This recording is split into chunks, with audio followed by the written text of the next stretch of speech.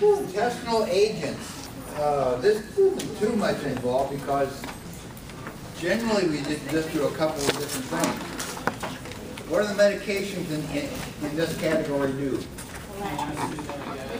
Okay, make you poop or make you stop.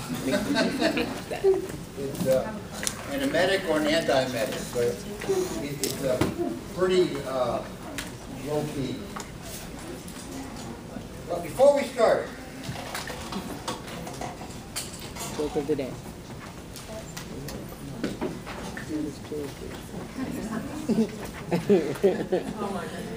This was on, uh, you want to be a millionaire, okay?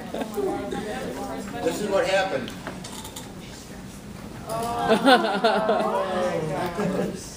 What was George W. Bush's first name? 50 50. Here's your sign. The way the questions are worded. That's pretty.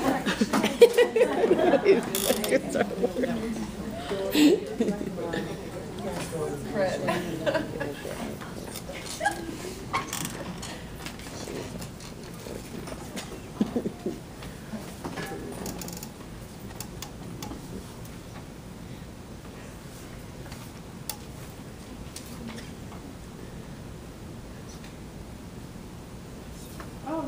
Like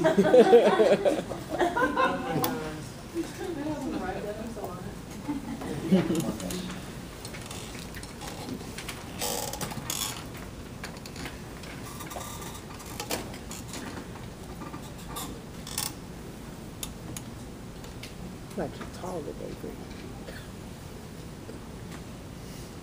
Not a lot to read.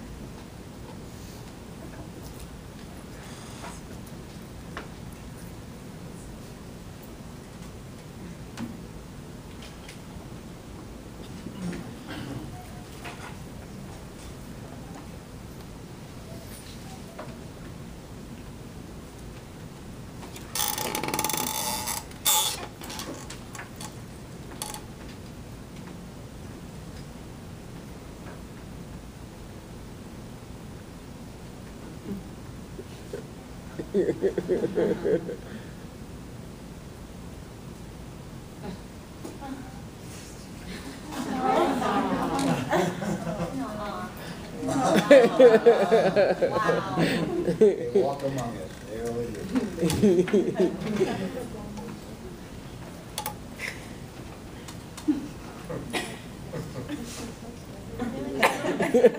go.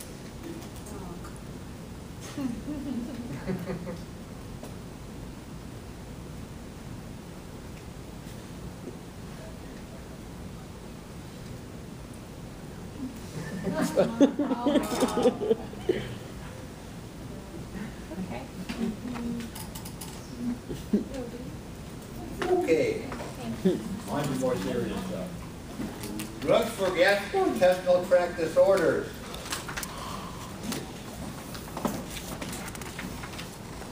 That you have on your PowerPoint before you. Is- Oops, that didn't work, did it? Did you add more again? No.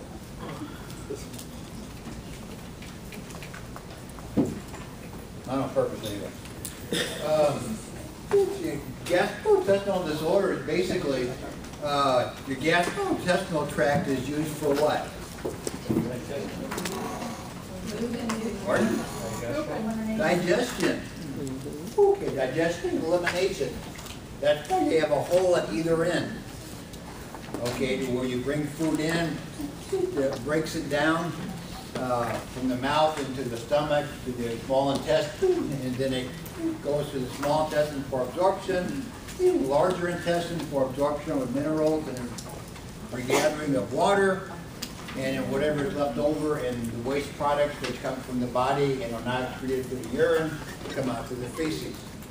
Okay, that's what we're doing. So we have things like vomiting, toxic substance, diarrhea, and constipation, which happen, which affect the gastrointestinal tract and either prevent us from uh, digesting what we need to, or uh, uh, can be a life-threatening issue. Vomiting centers. So you have the chemoreceptor trigger zone and vomiting center. You have this in your brain. Uh, so you have things like odor, smell, taste, drugs, and toxins which cause you to want to vomit. Uh, you know the sensation? Uh, all of a, all of a sudden you get a little irritable and maybe a little feverish sort of, and then all of a sudden you start salivating a whole lot. Once that happens, you know, you better start running. Okay, whatever here is gonna come up. And it's not just because you, you've ingested something that's bad for you, it, it could be a number of different things. Uh, for some of you, you- your vomiting center is triggered by someone else doing it. Oh, yeah. Someone else throws up and then you go, oh, I did. You know, for me, it's no problem. Somebody throws up, I can hold, hold my hands and gather what they have. It Doesn't matter to me.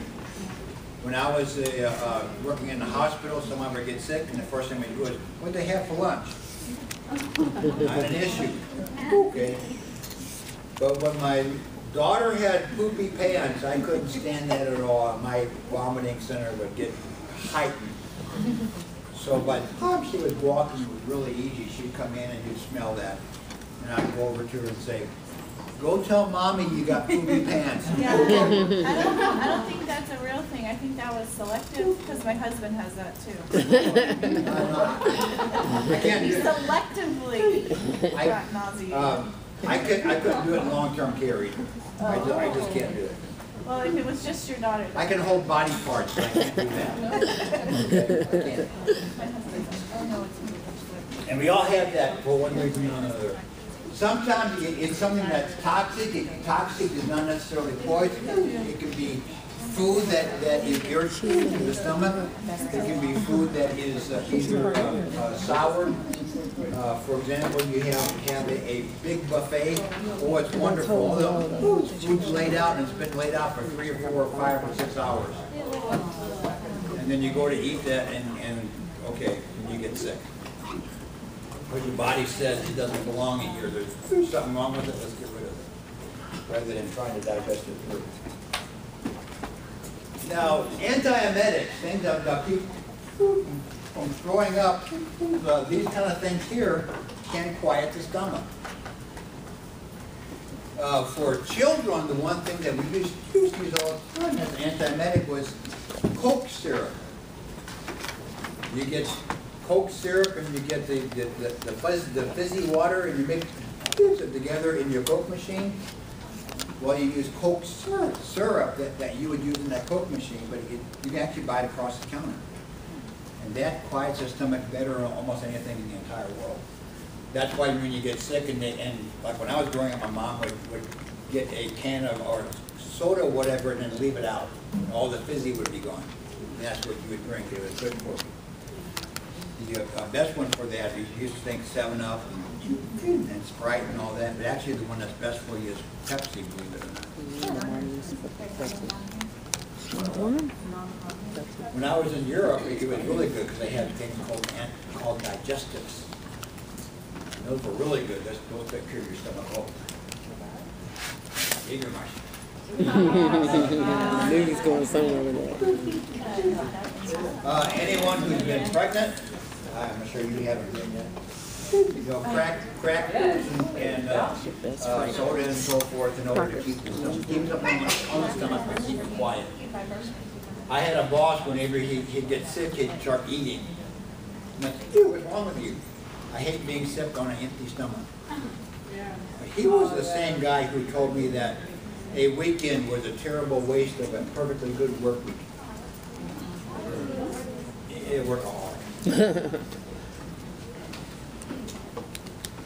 So anti, uh, antiemetics, we have non-prescription, we have antihistamines like, like Dramamine, Benadryl.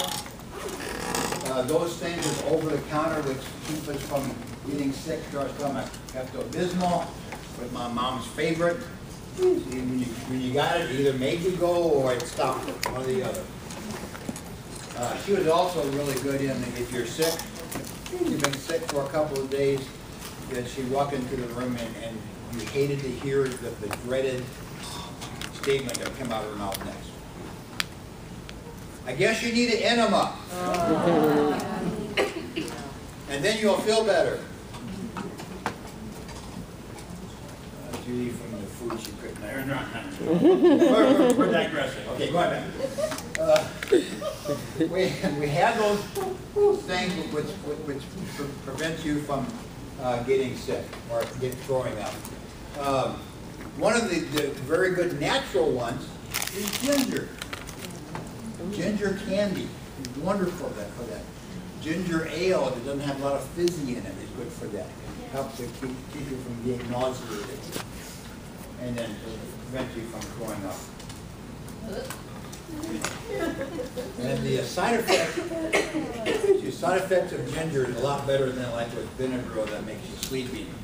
Uh, ginger just makes you gingerly. We have prescription one, we have Vistaril, Phenergan. Vistaril, we see a lot, right? We see Vistaril used a- as a pre-op medication. It serves two purposes. It does have a sedating effect to it, but its primary reason it was created was for it as an antiemetic. But it has a, a added effect for other medications in that it does have a sedative effect. It does enhance uh, other narcotics. So you take them together, it does, it enhance the one, so you, you have a better effect. Uh, Phenergan works very well. It's, um, uh, the only, it works directly on the vom- vomiting center, and that's done by injection. Uh, which is, is not a very pleasant injection, by the way. Used to give that, compazine could be taken either way, if you're throwing up, you really don't want to swallow anything, and then tie it in with the other one. You can get a suppository form, yes. If you're having, uh, see, uh, vomiting and diarrhea, that doesn't work, when you get by injection. Uh, the, uh, uh, scopolamine is a, a very, uh, good one, you'll see that a lot. If you ever go on, onto a boat or you go onto a cruise, you walk around, you, you see people with a patch behind their ear. Okay, those are all the seasick people. Um, But again, it acts on the vomiting center in order to keep things at bay to where you, you don't have that urge to throw up. Uh, those things are prescription, by the way, you just can't go to Walgreens and ask for a, uh, that is by prescription.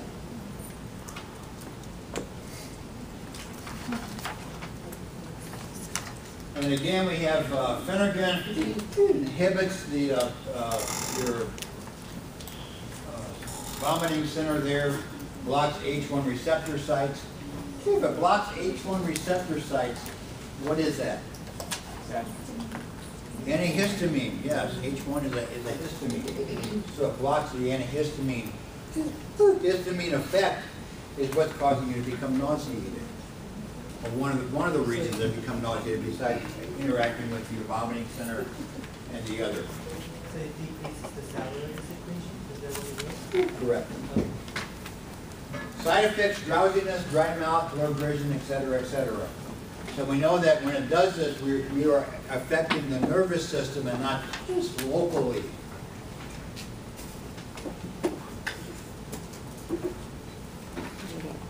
Most medication, when, when you see the first side effect of drowsiness and dry mouth, you know that they are affecting the nervous system and not just a local component. Um,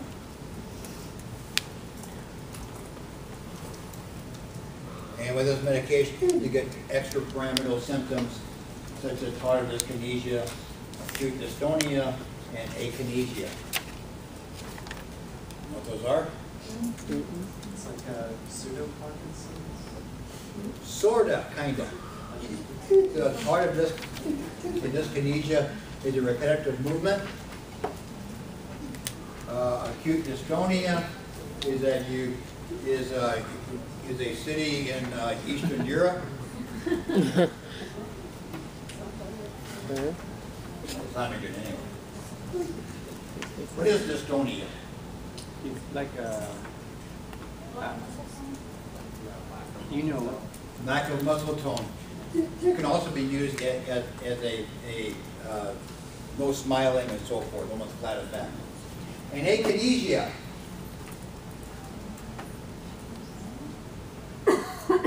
Difficulty in movement.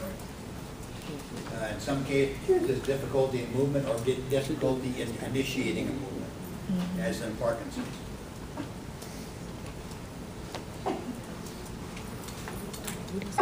We also have other anti, antiemetics that you see up here. Haldol. Haldol is used as a, a uh, a sedative, a uh, calming agent, uh, a, a, uh, for someone who's agitated, uh, to help them relax. But it, uh, the other effect it has is it prevents you from getting nauseated. It blocks dopamine receptors, and then therefore blocks the- your um, urge to vomit. Another medication is Reglan. You will see that used also, and it relieves, uh, um,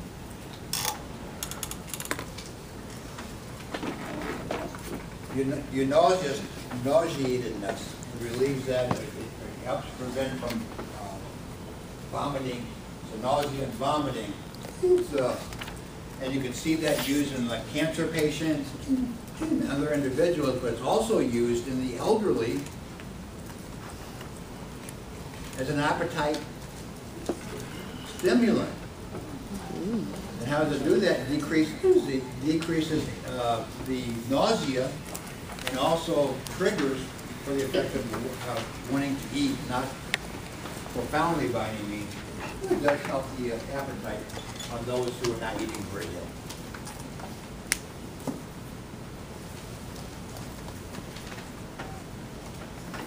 Then Ativan, again, used for as an anti-anxiety medication. But one of its other actions is for as a uh, antiemetic. And as it's, and one, and the reason it does that is, is that not only are we doing the, the um, uh, receptors and so forth down here, but as you become nauseated, you're gonna vomit, what happens to your anxiety level? It increases. And then, and then once everything happens, well, it, it just, it- it's a vicious cycle. This tends to lower your anxiety. It also affects the nervous system, calming everything down, and then in the, the uh, same sense, helps to relieve that urge to vomit.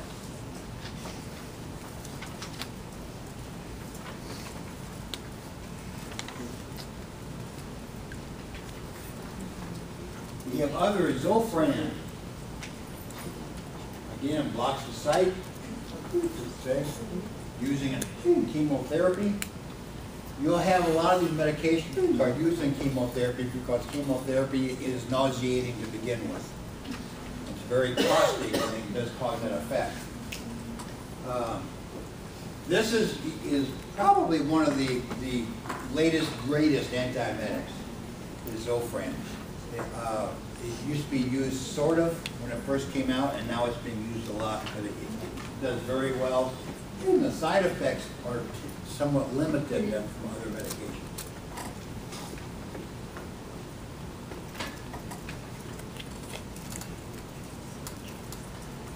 We've seen some of these medications before, Decadron, Solu-Medrol, but we see those. Glucocorticoid, we saw those with inflammation and so forth, correct? Cannabinoids. Yes, some of you are smiling, yes, you know that friend. Um, It does limit, um, it does, limit uh, nauseousness and it does increase the appetite. It was uh, uh, argued at one time that all the uh, elderly in the nursing homes who weren't eating very well and were wasting away, they should just give them a lot of marijuana and that way their appetite would decrease and they wouldn't be so sad. Sounds like a It's good a- time. I, I don't know if they ever went through that experiment, but that was a, a uh, suggestion at one time. And I, I imagine when they made a suggestion, all the people on the research panel were going, yeah, let me practice. My turn, my turn. I'll let you know how it works, and then we'll give it to the people. Uh, we have Marinol, uh, again, that comes under the cannab, cannab, yeah, cannabis. Of. Okay. Uh, That is a synthetic form that comes in a capsule. You don't smoke that, by the way. Although you probably could, uh, but that little, little plastic covering would melt in your mouth. Anyway. One person. Okay. Mentioned Tigan before. Uh, Tigan works very well. It is a painful shot. It, uh, uh, again, affects the, the center uh, to prevent uh, uh, nauseousness and vomiting. One of its, its major uh, side effects, though, is drowsiness. You take that and you will sleep for a couple hours.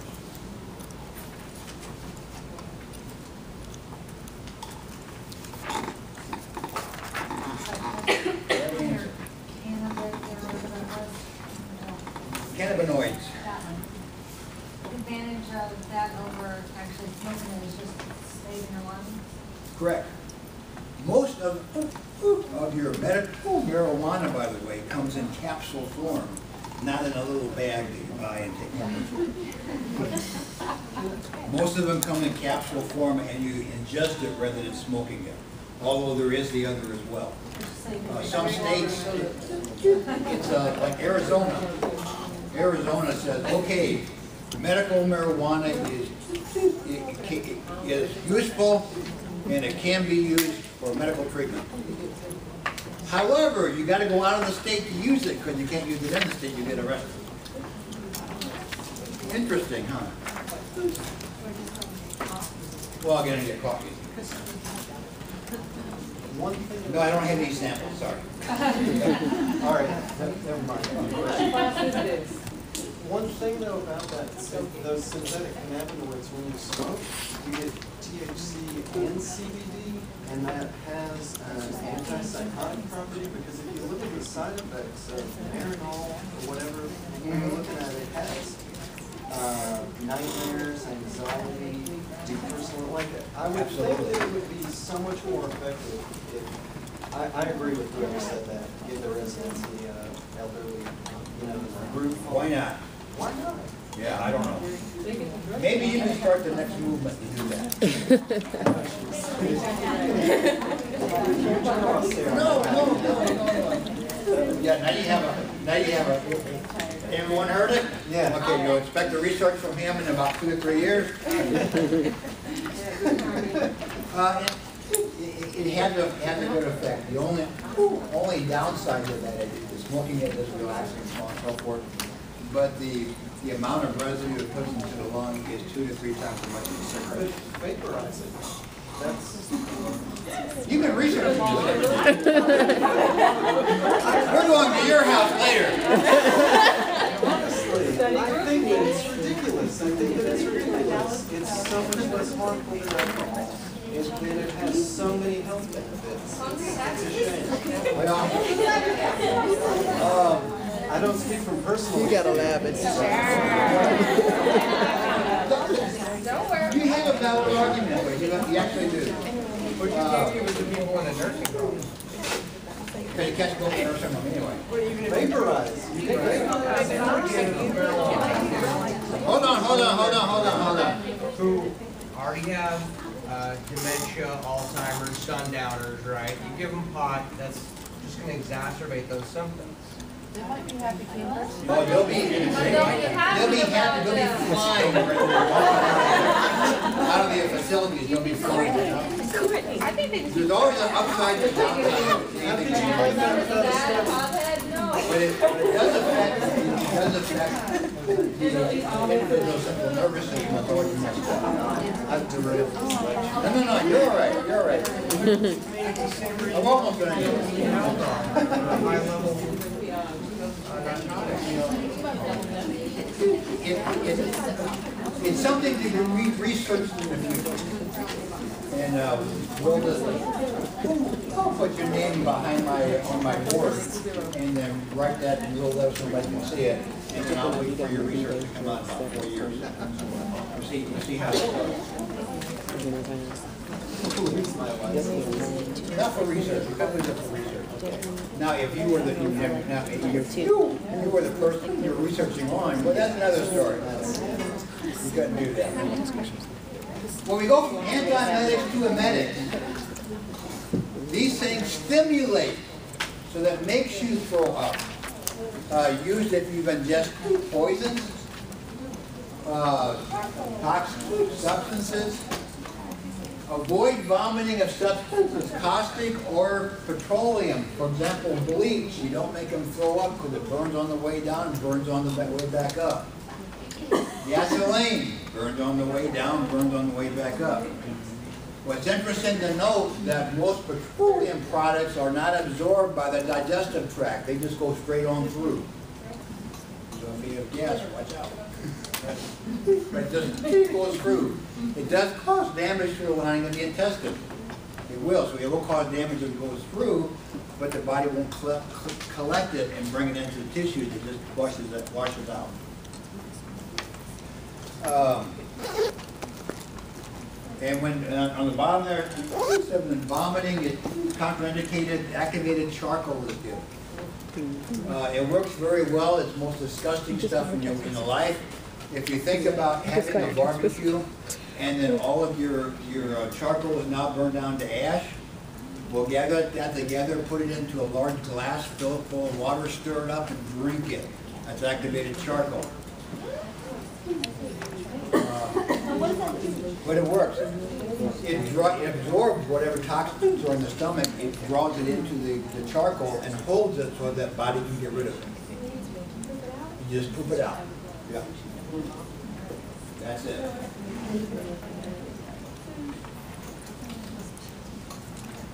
Ipecac. Comes in a syrup. Vomiting occurs within fifteen to thirty minutes. Does not occur in activated charcoal.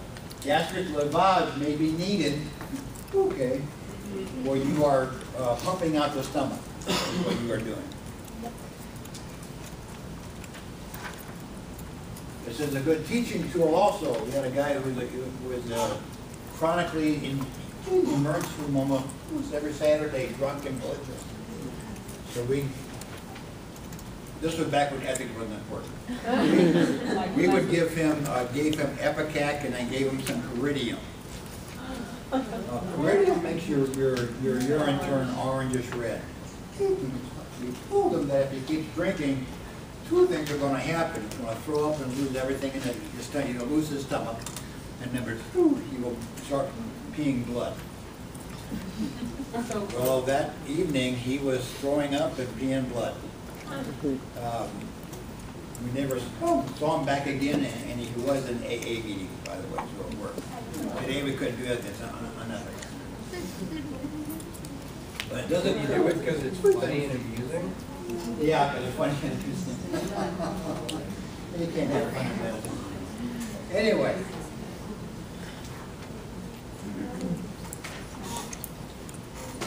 Diarrhea.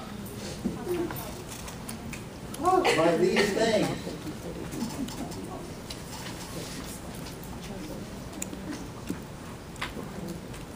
I had friends who went down to Mexico and they were, do not drink the water. Okay, so they didn't. They had margaritas with ice. And then wonder how come they got sick? And he said, well, number one, the margarita. Number two, it because the ice was made from the water they weren't supposed to drink. Uh, but these are all the causes of diarrhea. You can see their fecal impaction. When we have constipation, it has become to the point to where it's a brick wall. That's the best way to describe it. We have diarrhea here because what happens is you have no peristalsis in that region.